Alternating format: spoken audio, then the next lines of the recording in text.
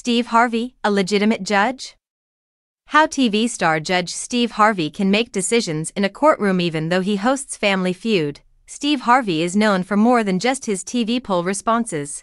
Despite having a long resume of successes as a comedian, actor, and producer, Harvey's ability as a host is what has made him visible to a variety of audiences.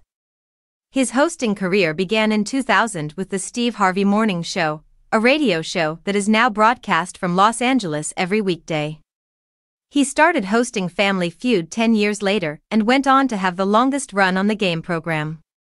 Surprisingly, Harvey currently presents five programs on television Judge Steve Harvey, Celebrity Family Feud, Family Feud Africa, The Steve Harvey Morning Show, and Family Feud. Judge Steve Harvey is characterized as a reality court program centered around arbitration, much like Judge Judy and other legal programs.